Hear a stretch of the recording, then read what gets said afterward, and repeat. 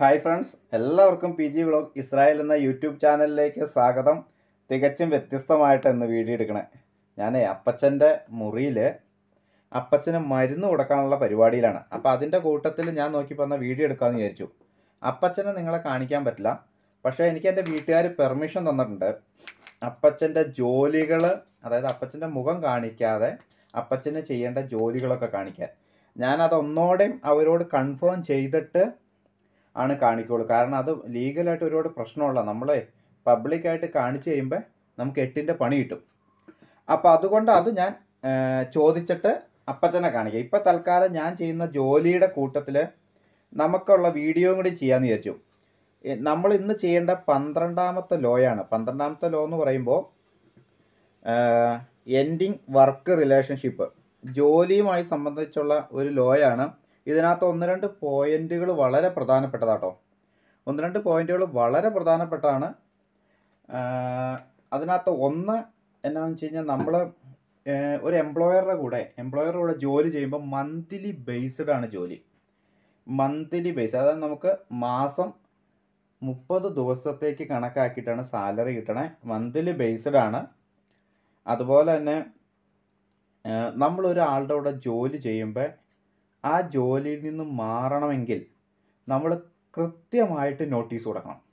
Prayer notice എന്ന് പറയും. ഈ പ്രയർ നോട്ടീസ് കൊടുക്കാതെ ഇറങ്ങിക്കഴിഞ്ഞാൽ നമ്മുടെ പേരിൽ ക്രിമിനൽ കേസ് നമ്മുടെ പാസ്പോർട്ട് റദ്ദാക്കുക അങ്ങനെ ഒരുപാട് പ്രശ്നങ്ങൾ വരും.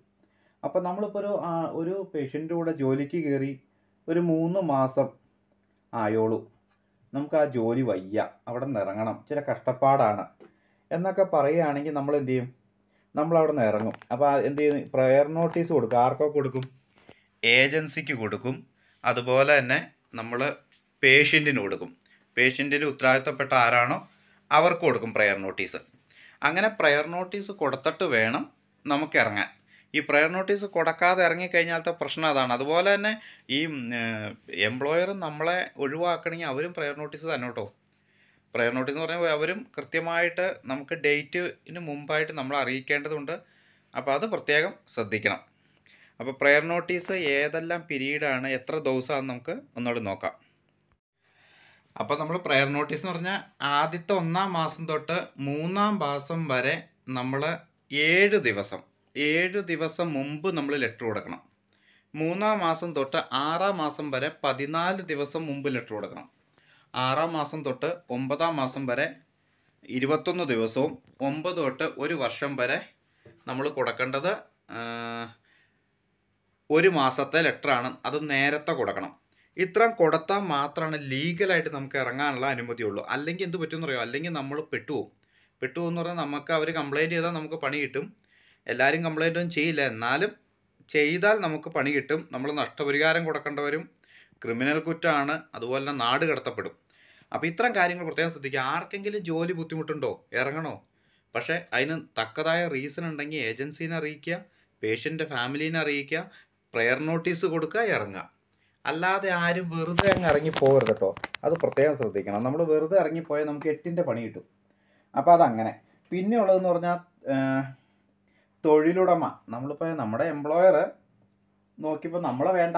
നമുക്ക് അവരെ നമ്മളെ അവർക്ക് വേണ്ട. നമ്മളെ പറഞ്ഞു വിടുകയാണ്. അപ്പോൾ ഇപ്പോൾ എൽദോനോട് എൽദോ നീ പൊക്കോ എന്ന് പറയാൻ എനിക്ക് ഒരു മാസം മുമ്പ് ലെറ്റർ വരും. ലെറ്റർ തന്ന് ലീഗലായിട്ട് ഇറക്കി വിടണം. അല്ലെങ്കിൽ അവർ നമുക്ക് നഷ്ടപരിഹാരം തന്നെ. ഇനി അഥവാ നമ്മളവർ ടെർമിനേറ്റ് ചെയ്യുകയാണെങ്കിൽ നമുക്ക് ഒരു മാസത്തെ സാലറി അവർ തന്നേ വിടാൻ പറ്റുള്ളൂ.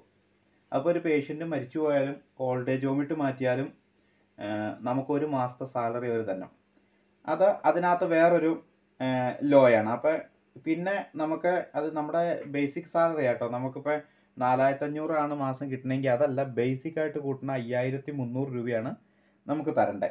നമുക്ക് ഈ പിബയിലേക്ക് അതായത് ഇവിടുത്തെ ലീഗൽ അതോറിറ്റിയിട്ട് നമ്മൾ ജോലി ചെയ്യുന്ന എല്ലാ മാസവും ഇവർ പെൻഷൻ അടയ്ക്കണം. ഈ പെൻഷൻ അടയ്ക്കണേന് ശതമാനത്തിന്റെ ചെറിയ വ്യത്യാസമുണ്ട്. കാരണം ബിത്തലോമി ഞാൻ പറഞ്ഞില്ലേ നമുക്ക് എല്ലാ മാസവും സാലറി തരുന്ന ഇൻഷുറൻസ് കമ്പനിയാണ് ബിത്തലോമി. ഈ ബിത്തലോമിയിൽ നിന്ന് കിട്ടുന്ന പൈസയുടെ ആനുപാതികമാണ് പെൻഷൻ. അതായത് ബിത്തലോമി ഒരുപാട് കൂടുതൽ പൈസ തരണ്ടെങ്കിൽ നമ്മുടെ പെൻഷൻ ഏകദേശം എഴുപത് ശതമാനത്തോളം എയർപോർട്ടിൽ പോകും. അന്നേരം ഒരു മുപ്പത് ശതമാനമാണ് നമ്മൾ ഈ ജോലിയിൽ നിന്ന് ഇറങ്ങുമ്പോൾ നമുക്ക് വീട്ടുകാർ തരേണ്ട കാര്യമുള്ളൂ.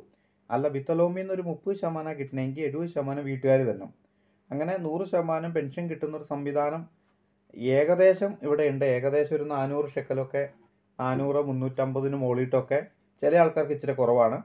എന്നാൽ ഒരു ആവറേജ് അങ്ങനെയൊക്കെ പെൻഷൻ വരുന്നുണ്ട് അത് അത് എയർപോർട്ടിട്ടാണ് പോണേ. എയർപോർട്ടിൽ പോകുന്ന എമൗണ്ട് നമ്മൾ ഇവിടുന്ന് ജോലി നിർത്തി പോകുന്ന സമയമല്ലേ? ജോലി നിർത്തി. ഇപ്പം ഞാൻ അഞ്ച് കൊല്ലം കഴിഞ്ഞ് നിർത്തി പോകാൻ തീരുമാനിച്ചു. അപ്പോൾ നമ്മൾ ഇവിടെ പോയി കവലാവധി പോയി അത് പറഞ്ഞ് മിശ്രാദപ്പിനി പറഞ്ഞ് നമ്മൾ നമ്മുടെ ഏജൻസി പറഞ്ഞ് എല്ലാ പേപ്പറും റെഡിയായി കഴിയുമ്പോൾ നമുക്ക് എയർപോർട്ടിൽ ചെന്ന് കഴിയുമ്പോഴായിരുന്നു ഇത്ര നാളും കിട്ടിക്കൊണ്ടിരുന്നത്. പക്ഷേ ഇപ്പോൾ കഴിഞ്ഞ മാസം ഒരാൾക്ക് കിട്ടിയത് ഇവർ ജോലി നിർത്തി പോകുന്നതിന് രണ്ട് ദിവസം മുമ്പ് ഫുൾ എമൗണ്ടും ഇവിടെ കിട്ടി. അപ്പോൾ അതുകൊണ്ട് അങ്ങനെയാണ് അത് കിട്ടുന്നത്. പിന്നെ അത് കിട്ടാതെ പോകുന്ന ഒരു സംവിധാനം കൂടെ ഇവിടെ ഉണ്ട് അതായത് നമ്മളിപ്പോൾ ജോലി ചെയ്യാ അല്ല ജോലി നിർത്തിയിട്ട് നമ്മൾ നാട്ടിൽ പോവാതെ അതായത് ലീഗലായിട്ട് അറുപത് ലീഗലായിട്ട് അറുപത് ദിവസം കൊണ്ട് നാട്ടിൽ പോകണമല്ലോ ഈ അറുപത് ദിവസം കൊണ്ട് നാട്ടിൽ പോകാതെ നമ്മൾ ഇവിടെ എവിടെയെങ്കിലും കള്ളവിസിയൊക്കെ അടിച്ച് അല്ലെങ്കിൽ ഇവരെ പറ്റിച്ച് ജീവിക്കാമെന്ന് വെച്ച് നോക്കട്ടെ. ഒരു മാസം നിൽക്കുമ്പോൾ നമ്മുടെ ഒരു പതിനഞ്ച് ശതമാനം നമ്മുടെ പെൻഷൻ ഫണ്ടിൽ നിന്ന് ഫിഫ്റ്റീൻ പെർസെന്റേജ് കുറയും. രണ്ട് മാസം ആകുമ്പോൾ അത് ട്വന്റി ഫൈവ് പെർസെന്റേജ് കുറയും. മൂന്ന് മാസം കഴിഞ്ഞ് അത് കൂടിക്കൊണ്ടേയിരിക്കും. ഫിഫ്റ്റി പെർസെന്റ് അമ്പത് ശതമാനമാവും എഴുപഞ്ച് ശതമാനമാവും ആറ് മാസം കഴിഞ്ഞാൽ പിന്നെ ഒരു രൂപ പോലും കിട്ടില്ല. ആറ് മാസം കഴിയുമ്പോൾ ഒരു രൂപ പോലും നമ്മുടെ പെൻഷൻ ഫണ്ട് കിട്ടൂല. അതായത് ലീഗൽ ആയിട്ട് അറുപത് ദിവസത്തിനുള്ളിൽ തിരിച്ച് കയറി പോയില്ല എന്നുണ്ടെങ്കിൽ പിന്നെ നമ്മുടെ പെൻഷൻ ഫണ്ട് കണി കാണേണ്ട വരില്ല എന്നാണ് അർത്ഥം. അപ്പം അങ്ങനെ ലീഗലായിട്ട് പോവാതെ വിസ തീർന്നിട്ട് ഇവിടെ അത്യാവശ്യം ഒളിച്ചൊക്കെ അത്യാവശ്യം നടന്ന് എന്തെങ്കിലും ജോലികളൊക്കെ ചെയ്ത് നടക്കുന്നവർക്ക് പെൻഷൻ ഫണ്ട് കിട്ടൂല. അത് പ്രത്യേകം ഓർത്തിരിക്കണം. ഇത്രയാണ് നമ്മുടെ ഈ എൻഡിങ് വർക്ക് റിലേഷൻസിലുള്ളത് എൻഡിങ് വർക്ക് റിലേഷൻസ് ഇത്രയും കാര്യങ്ങളാണ് ഉള്ളത്. അതായത് നമ്മളും ഒരു എംപ്ലോയറും തമ്മിലുള്ള സാമ്പത്തിക ഇടപാടുകൾ പ്രയർ നോട്ടീസുകൾ നമ്മുടെ പെൻഷൻ ഫണ്ടിന്റെ ഡീറ്റെയിൽ ഇത്രയാണ് അതിനകത്തുള്ളൂ അപ്പോൾ ഇതൊരു ലോ പന്ത്രണ്ടാമത്തെ ലോയാണ് അങ്ങനെ നമ്മുടെ പന്ത്രണ്ടാമത്തെ ലോയും തീർന്നു. ഇനി പതിമൂന്ന് പതിനാല് പതിനഞ്ച് പതിനാറ്. ഇത് നമ്മൾ ഒന്നോ രണ്ടോ ദിവസത്തിനുള്ളിൽ ലോ തീർക്കും. ഈ ലോ തീർത്ത് കഴിഞ്ഞാൽ നമ്മൾ ലോ തീർന്നതിന് ശേഷം ഒരു ദിവസം വൺ അവർ ലൈവ് വീഡിയോ ചെയ്യാനാണ് ഉദ്ദേശിക്കുന്നത്. അപ്പോൾ ഇതിനകത്തുള്ള ഡൗട്ടുകളൊക്കെ ലൈവായിട്ട് പറയും. അപ്പോൾ എല്ലാവർക്കും നമുക്ക് മനസ്സിലാക്കാൻ പറ്റും. അപ്പോൾ ഇത്തരം കാര്യങ്ങളാണ് ഇതിനകത്തുള്ള. ഞാനിപ്പോൾ അപ്പച്ചന്റെ മുറിയിൽ ജോലി ചെയ്തു ചെയ്തുകൊണ്ടാണ് ഈ കാര്യങ്ങൾ ചെയ്ത്. അപ്പച്ചനെ കാണിക്കണില്ല. നമുക്ക് ആ മെഷീനൊക്കെ ഒന്ന് മെഷീൻ കണ്ടോ? ഞാൻ കാണിച്ചു തരാം കേട്ടോ ഒരു മിനിറ്റ്. ബാക്കിയത്തെ കാര്യങ്ങൾ മെഷീൻ കണ്ടുകൊണ്ട് പറയാം. ഇത് നമ്മൾ അപ്പച്ചന് ഫുഡ് കൊടുക്കാൻ ഉപയോഗിക്കുന്നതാണ്. ഹോസ്പിറ്റലുകളിലൊക്കെ ഉണ്ട്. ഹോസ്പിറ്റലിൽ ഒക്കെ ജോലി ചെയ്തവർക്കറിയാം. അപ്പോൾ ഇതിനകത്ത് നമ്മൾ ഫീഡിങ് ബാഗ് ഇതാ ഈ ബാഗിലാണ് ഫുഡ് കൊടുക്കുന്നത് ഒരു ദിവസം നമ്മൾ കൊടുക്കേണ്ടത് ആയിരം ആണ്. അതായത് ഒരു ലിറ്റർ ഫുഡാണ് ഇപ്പം ഞാൻ വെള്ളം കൊടുത്തുകൊണ്ടിരിക്കുന്നത് ഒരു ലിറ്റർ ഫുള്ളും ഫുഡും ആയിരത്തി ഇരുന്നൂറ് വെള്ളവും. അത് ഡോക്ടർ പറയുന്ന അനുസരിച്ച് നമ്മൾ ചെയ്യണം. ഇത് ഫുഡ് കൊടുക്കുന്ന മെഷീനാണ് ഇത് നമ്മൾ ഡയറക്റ്റ് വയറ്റിയിട്ടാണ് കൊടുത്തേക്കുന്നത് കേട്ടോ വയറ്റിയിട്ട് ഡയറക്റ്റ് കൊടുത്തേക്കുകയാണ് അപ്പച്ചൻ വായകട കഴിക്കില്ല. അതുകൊണ്ട്. പിന്നെ നമ്മുടെ ഇത് ഓക്സിജൻ മാസ്ക്. അതിപ്പോൾ കണ്ട എല്ലാവർക്കും അറിയാലോ. ഓക്സിജൻ മാസ്ക് ആണ് ഇവിടെ ഓക്സിജന്റെ ഒരു മെഷീൻ ഉണ്ട്. അത് നമുക്ക് ആവശ്യമുള്ളപ്പോൾ ഓൺ ചെയ്യാം. അത് വണ്ണ് ട്യൂവ് അപ്പച്ചന്റെ ആവശ്യാനുസരണം നമ്മൾ ടു ഇപ്പം ഞാൻ കൊടുക്കുന്ന ടൂ ആണ്. ഇച്ചിരി ആവശ്യം ടൂ ആയതുകൊണ്ട് ടൂവിൽ കൊടുക്കണം.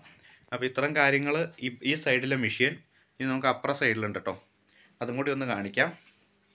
അത് വർക്ക് ചെയ്യണമൊക്കെ പിന്നെ കാണിച്ചു തരാം കേട്ടോ ഇത് കണ്ട്? ഇത് നമ്മൾ മോണിറ്റർ ചെയ്തുകൊണ്ടിരിക്കുകയാണ് അപ്പച്ചന്റെ ഓക്സിജൻ ലെവൽ നയന്റി ഈ നമുക്ക് നയന്റി ഫോറിൽ താഴെ വന്നു കഴിഞ്ഞാൽ ഓക്സിജൻ കൊടുക്കാനാണ് പറഞ്ഞേക്കുന്നത് പക്ഷേ നമ്മളൊരു നയന്റി കഴിഞ്ഞാലാണ് ഇതിനകത്ത് അലാറടിക്കുള്ളൂ അപ്പോൾ അലാറടിക്കുമ്പോൾ നമ്മൾ ഓക്സിജൻ കൊടുക്കും.